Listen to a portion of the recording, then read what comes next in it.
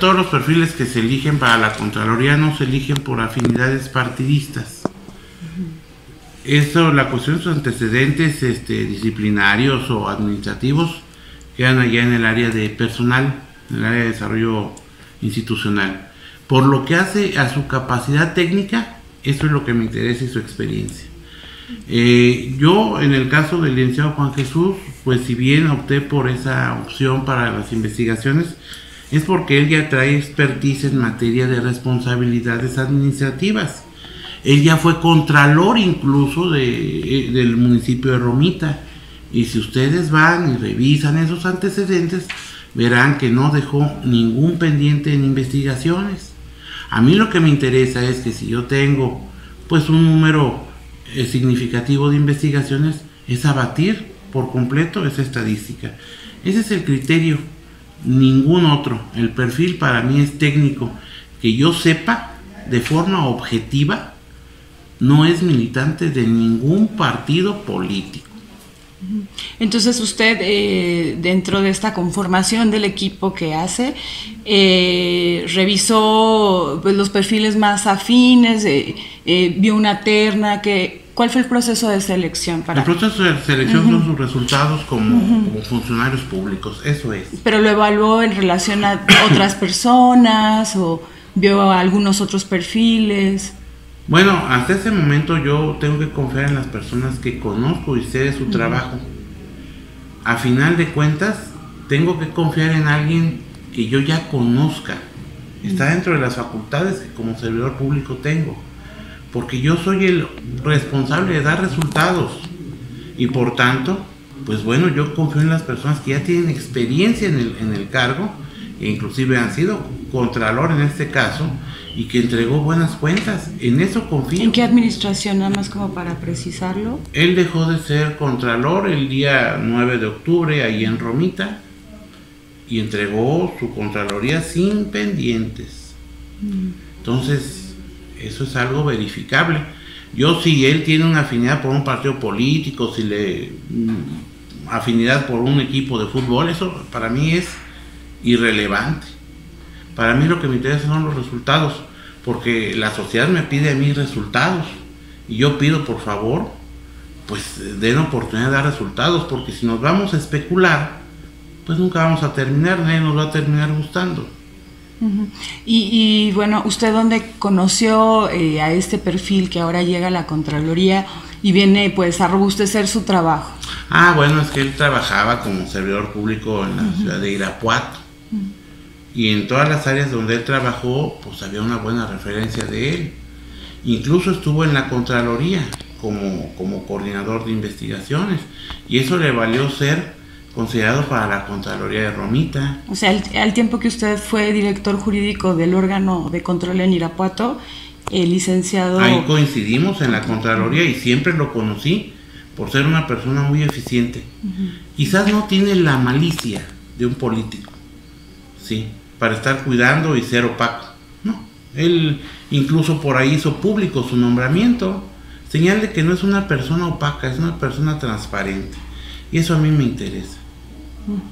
Aparte de, este, de este nombramiento, ¿qué otras eh, contrataciones ha realizado durante pues este periodo que tiene estos meses? Estamos en proceso de, de cubrir las vacantes que van, pues las sometemos a desarrollo institucional y vamos integrando lo que son pues las plazas que faltan en la Contraloría. ¿Qué vacantes son las que las que tiene que cubrir o las las vacantes que o qué, qué direcciones son las que eh, fundamentalmente tendrían que usted eh, llenar? En todas las direcciones estamos haciendo ahorita ajustes. Entonces, yo en eso sí no quiero empezar ahorita con, a especular, son cuestiones que están en proceso. ¿Y cuándo se dio la contratación del, licenciado Ulises? Ulises Rugerio del Orbe este, debe de estarse concretando ahorita la contratación. ¿Este perfil eh, ¿para, qué, para qué área llegaría? Contraloría Social. ¿Y qué función tendría el Contralor? Por las que establece el reglamento en esa, en esa área que es eh, la Contraloría Social, quejas, denuncias y vinculación con la sociedad. Él ya estuvo en esa área. Eh, ¿Cómo es que usted contrata al, licenciado? ¿Qué, qué, criterios utilizó? Que, ya conoce el área y su trabajo fue bueno cuando estuvo al frente de esa área. ¿En qué periodo, disculpe? El periodo de que fue el 2012-2015. Justo en ese periodo, cuando estaba Alberto Padilla al frente de la Contraloría, este mismo funcionario fue dado de baja dado que tuvo un incidente en un vehículo en un vehículo público. Esto no es un mal antecedente para, este pues servidor que se incluye ahora en, la Contraloría. Fíjese que es buena su pregunta.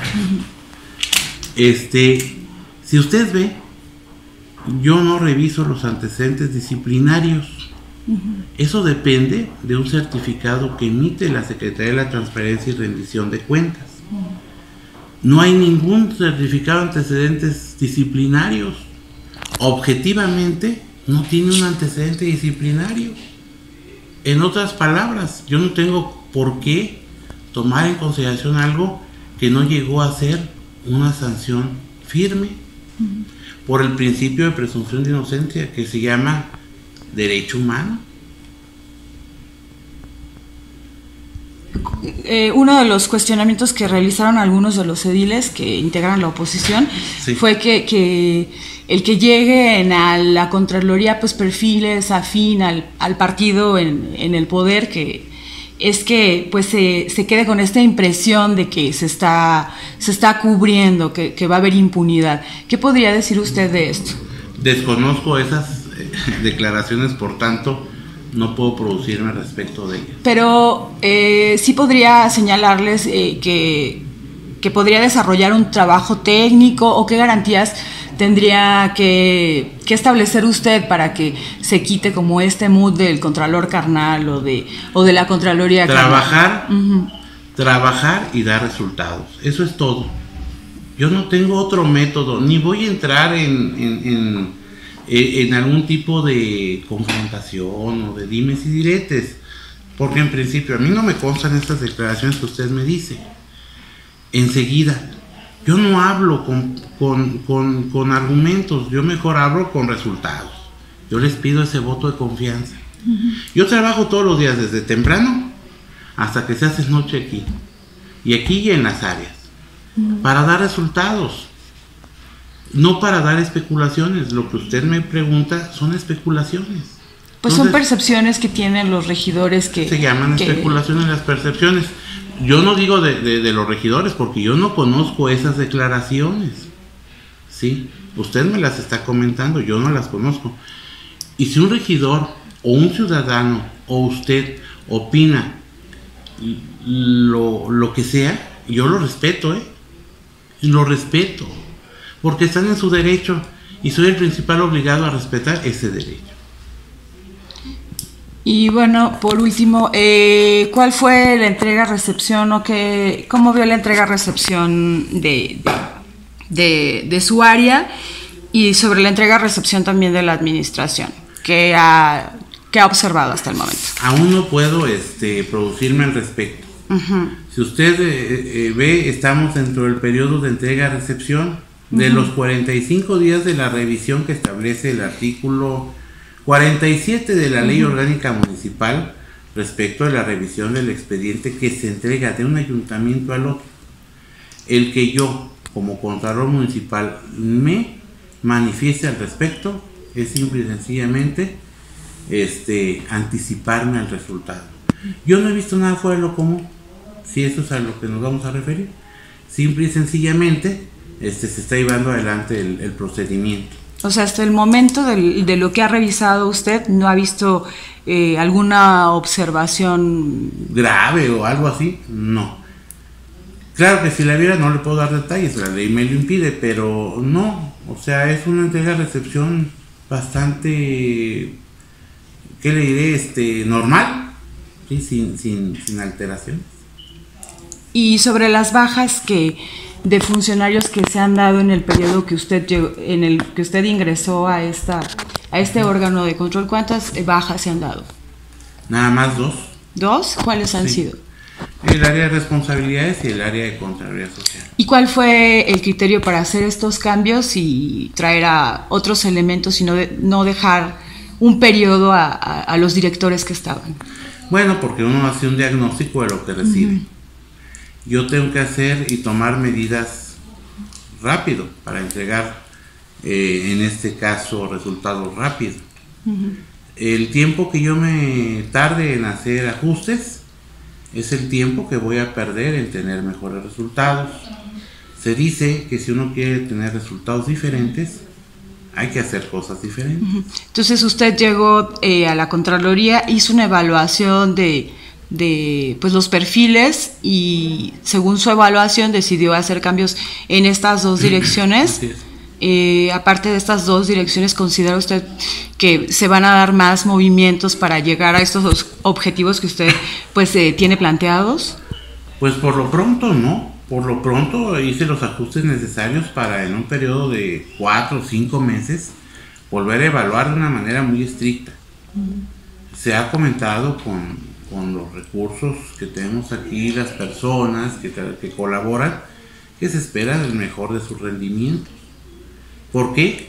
Pues porque yo tengo la exigencia social de dar resultados. Para mí el argumento es dar resultados. Usted podrá comentarme y se podrá especular del trabajo de la Contraloría. Yo no soy de darle argumentos ni de rebatírselos, soy de dar resultados.